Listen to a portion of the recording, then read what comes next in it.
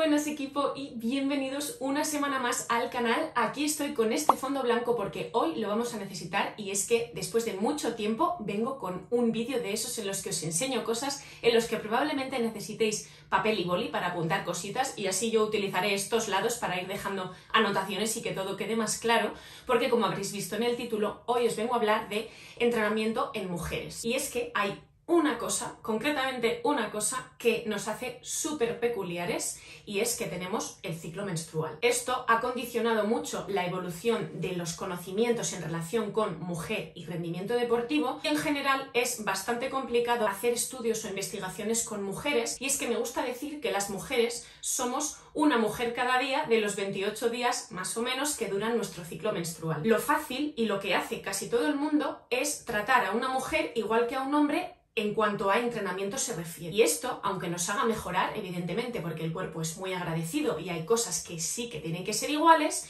es incorrecto, porque tenemos ciertas peculiaridades que no solo van a hacer que tengamos que entrenar de manera diferente para prevenir lesiones o para prevenir sobreentrenamiento, sino que además tenemos unas peculiaridades que nos dan ventaja en ciertos momentos del ciclo menstrual. Y esto hace que si conocemos estas ventajas y las aprovechamos en nuestros entrenamientos, vamos a mejorar mucho más de lo que podríamos, mucho más que si nuestro entrenamiento durante el mes fuese lineal. Y esto es lo que os vengo a explicar en este vídeo. Por un lado, cuáles son las diferencias biomecánicas que tenemos las mujeres con respecto a los hombres y que implican, y por otro lado, cuáles son las etapas de nuestro ciclo menstrual, qué características tiene cada una y qué tenemos que hacer o qué tenemos que evitar para que nuestro entrenamiento sea lo más eficaz posible. La principal diferencia es lo que se llama el ángulo Q de la cadera. Nuestra cadera es más ancha. Esto tiene una serie de implicaciones, que son básicamente que tendemos más a pronar, porque como estáis viendo en la imagen, el apoyo es como hacia adentro. Por lo tanto, tendemos a pronar, por un lado, nuestro apoyo es más inestable y por estos dos motivos tenemos más riesgo de padecer lesiones como las fracturas por estrés en la cadera o en la tibia. ¿Cómo podemos solucionar eso de que nuestro apoyo sea más inestable? Pues haciendo ejercicios de propiocepción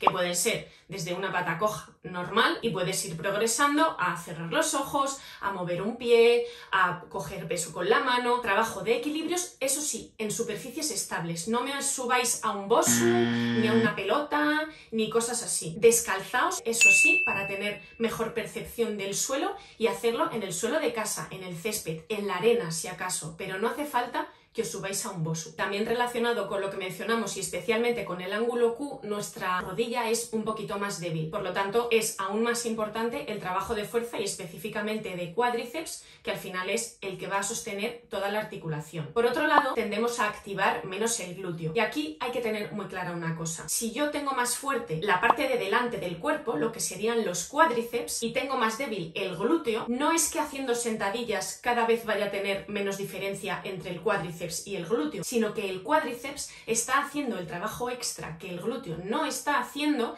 y con el tiempo lo que va a suceder es que mi cuádriceps va a ser cada vez más fuerte y mi glúteo cada vez más débil, lejos de igualarse. Por tanto, lo que tenemos que hacer es un entrenamiento de glúteo aislado. ¿Cómo trabajamos el glúteo aislado? Pues mirad, es súper sencillo. Con una goma de este tipo hacemos una serie de ejercicios que os los voy a poner para que los veáis y los apuntéis, mm, focalizándonos mucho en que solo esté trabajando el glúteo, porque si los probáis, si le dais a pausa a este vídeo y los probáis, os vais a dar cuenta de que todo vuestro cuerpo se pone tenso y que estáis empujando con otras zonas del cuerpo que no son las que tienen que hacer el ejercicio. Esta goma, que al final la resistencia es pequeñita, nos permite enfocarnos y concentrarnos mucho en que sea el glúteo el que está haciendo la fuerza. Con que metáis 10 minutos de trabajo de glúteo dos o tres días a la semana, con eso lo tenéis cubierto y os prometo que vais a ver muchas mejoras. Otra peculiaridad nuestra es que nuestro lado dominante y nuestro lado no dominante tienen más diferencias que los hombres. Digamos que nuestro lado dominante es más hábil y más fuerte que el no dominante. Y por eso es muy importante que los ejercicios de fuerza que hagamos, no todos, pero sí algunos,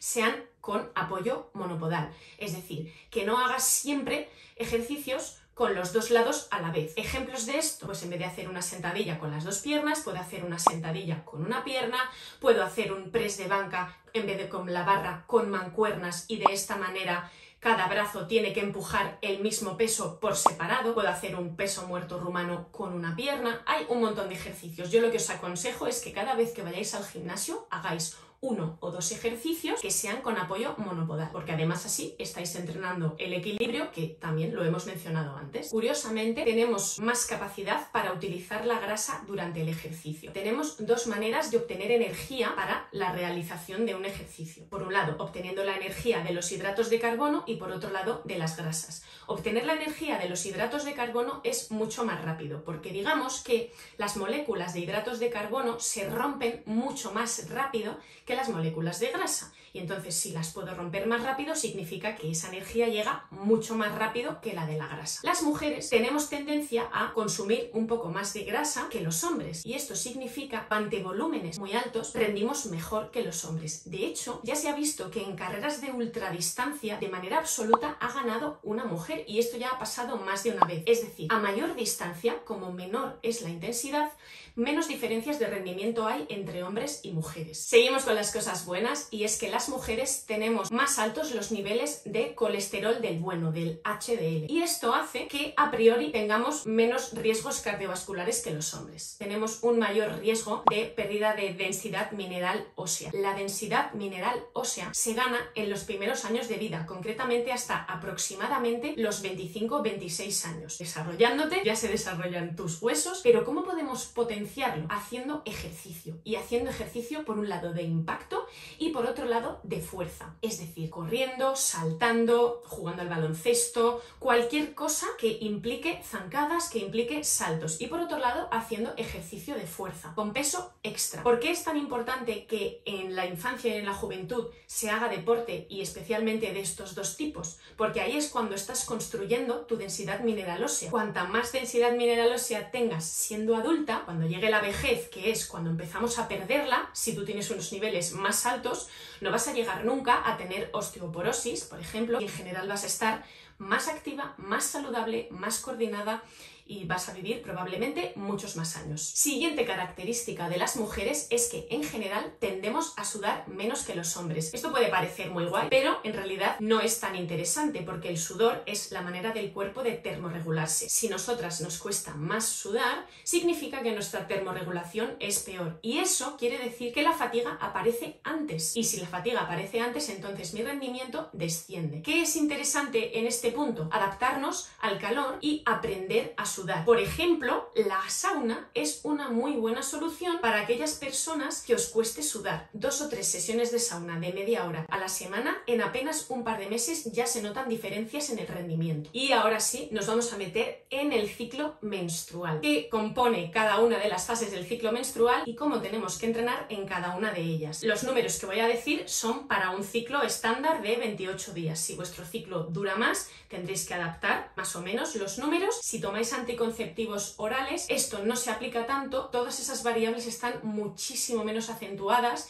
y sí que podríais entrenar mucho más parecido a un hombre. Comenzamos con el día 1 del ciclo menstrual que corresponde al inicio de la regla, esto suele durar 2, 3, 4, 5 días, pero en general solemos sentir un mayor cansancio. No pasa nada por entrenar muchísimo menos estos días o por incluso no entrenar. No pasa nada. En el caso de entrenar, lo que hay que hacer es bajar mucho el volumen y bajar mucho la intensidad. Suele bajar el rendimiento, así que si entrenas no te frustres porque no te salgan los tiempos en las series o en el gimnasio. Anotación, cuando hablo de volumen, hablo de tiempo de entrenamiento o de kilómetros de entrenamiento y cuando hablo de intensidad hablo de la dureza de lo que sea que estemos haciendo. Una carrera de 100 metros al 100% es muchísima intensidad pero muy poco volumen y un rodaje de 15 kilómetros a ritmo de zona 1 de frecuencia cardíaca es mucho volumen pero muy poca intensidad. Llegamos a la segunda fase, que es la fase folicular, que suele ir desde el día 3, 4, 5 más o menos hasta la ovulación y es en esta fase en la que más capacidad tenemos para asimilar nuestro entrenamiento. Tenemos mucha capacidad para asimilar el entrenamiento de fuerza y el entrenamiento de velocidad. Soportamos mucha carga de entrenamiento. Es, en definitiva, la mejor fase para meter grandes cargas de entrenamiento. Puedes entrenar incluso un poquito más que tus compañeros hombres. Llegamos a la tercera fase, que es la ovulación, se da en torno a los días 12 a 14 del ciclo más o menos. En esta fase la temperatura corporal aumenta y por lo tanto la fatiga va a aparecer antes. También se desprende en el cuerpo una hormona que se llama relaxina, que esto hace que seamos más elásticas y por lo tanto seamos más propensas a tener lesiones de ligamentos y de articulaciones. Así que lo que os recomiendo en esta fase es que quitéis los saltos, si entrenáis pliometría, no entrenéis pliometría en estos días y tampoco metáis unos estiramientos muy agresivos. Tenemos una peor estabilidad, podemos también eliminar el trabajo de propiocepción y por último la fase lútea que va desde la ovulación hasta la regla es esa fase en la que consumimos más grasas que hidratos de carbono, lo que os explicaba antes. Soportamos bien los altos volúmenes de entrenamiento, pero soportamos peor la intensidad. Por lo tanto, aquí lo que os recomiendo es aumentar el entrenamiento aeróbico y reducir el trabajo de series intensas, o bien si no lo reducís, pues tener en cuenta de que esto está sucediendo y adaptar los tiempos a la realidad de vuestro momento del ciclo. Y bueno equipo, espero que os hayan servido estas pautas, estos tips que os he dado sobre entrenamiento en mujeres Espero, chicas, que lo apliquéis, espero entrenadores y entrenadoras que lo apliquéis con vuestras deportistas, porque vais a notar no solo una mejora en el rendimiento, sino que además la mujer disfruta más, previene lesiones y preserva su salud, que al final lo que queremos es hacer deporte durante toda nuestra vida. Y para eso es muy importante escuchar al cuerpo. Y si somos mujeres tenemos mucho, mucho más que escuchar. Os leo en los comentarios, se agradecería que compartieseis este vídeo, que le deis a like, que os suscribáis. Y nos vemos la semana que viene con ¡Hasta luego!